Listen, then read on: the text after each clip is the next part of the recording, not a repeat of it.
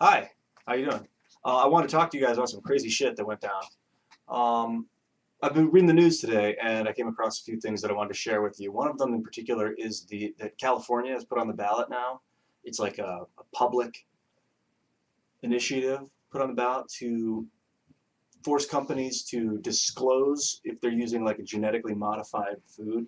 So companies like Monsanto and things like that are going to have to put like genetically modified cornstarch on their labels, which I think is a great idea. And you're obviously going to get some sort of backlash from like these big companies, but this is the fucking key to the future, taking the control back for the people. I also don't like seeing natural flavors on a on a label. I think it's a, a gross misrepresentation of what it actually is. You know, you shit on a plate and call it natural. So uh, there's that.